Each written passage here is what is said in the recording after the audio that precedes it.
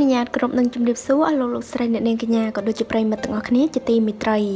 មីលពៅដែលជាស្នាដៃកូនខ្មែរលក់ដាច់ខ្លាំងលើសពីការរំពឹងទុករហូតធ្វើឲ្យម្ចាស់ចេញមុខសុំទោសបងប្អូនដោយសារតែមួយថ្ងៃជាង2000ខលមកទិញ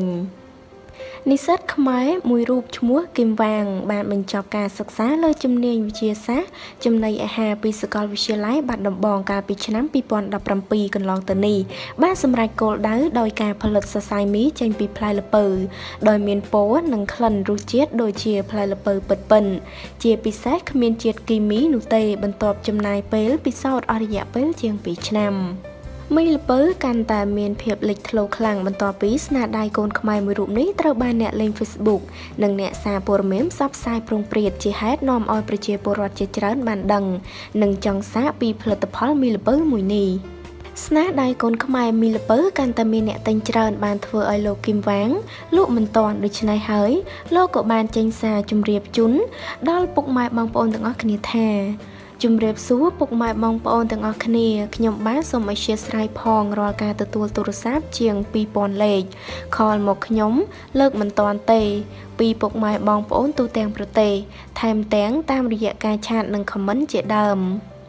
ខ្ញុំគឺកំពុងតែញាប់ដៃញាប់ជើងដើម្បីផលិតមីល្ពៅនេះដើម្បីឲ្យបងប្អូនបានភ្លក់រសជាតិថ្មីនិងផលិតផលថ្មីក្នុងស្រុកយើង។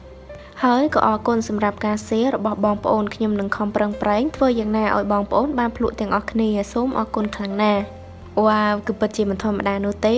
គឺខ្មែរពិតជាស្រឡាញ់ខ្មែរមែនគឺថាគ្រាន់តែល្បីនៅមីលពៅនេះភ្លាមមានបងប្អូនយើងជាច្រើនបានខលតាក់តងទៅមិនថាតែការខលថែមទាំងឆាតខមមិនចង់ទទួលទាននៅរសជាតិថ្មីនៃមីលពៅនេះថែមទៀតផង ក្រោយពីល្បីរន្ទឺគឺថាមីលពៅ មានការលេចធ្លោខ្លាំងមែនទែននាងខ្ញុំផ្ទាល់ក៏ចង់ភ្លក់ដែរថាតើរសជាតិដូចជាអ្វីដែលបងប្អូនដែលបានភ្លក់នោះនិយាយដែរឬទេ គឺមានរសជាតិឆ្ងាញ់គឺរសជាតិល្ពៅក្លិនល្ពៅចាគឺថាចង់ញ៉ាំមែនទែនគឺពិតជារំភើបមិនដែលបងប្អូនខ្មែរយើងគ្រប់គ្រងនៅស្នាដៃខ្មែរ គឺទាំងខ្ញុំទាំងគេ ផលិតផលខ្មែរហើយណាមួយអត់មានសារធាតុគីមីទៀតគឺពិតជាគ្រប់ត្រូលពេញទំហឹងតែម្ដង